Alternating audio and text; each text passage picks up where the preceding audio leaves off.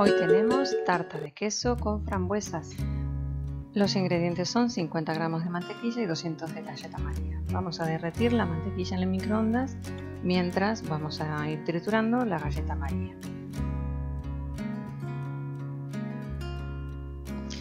Una vez tenemos las galletas trituradas, agregamos la mantequilla derretida y volvemos a triturar hasta integrar y formar una masa. Con esto cubriremos el molde con ayuda de una cuchara. Nivelamos con el fondo de un vaso y refrigeramos 15 minutos en la nevera. Mientras tanto pondremos en remojo 4 láminas de gelatina durante 5 minutos en agua fría.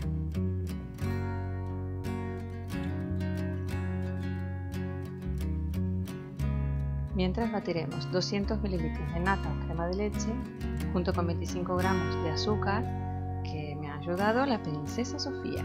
Muy bien. Vamos aprendiendo. La batiremos bien. Mientras tanto, escurriremos las hojas de gelatina. Le agregaremos una cucharada de agua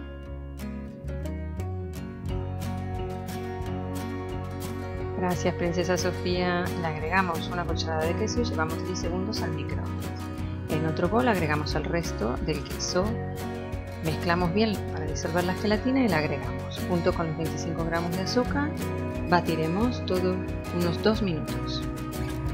Sacamos la nata montada de la nevera y la agregamos al queso integrándola de forma envolvente.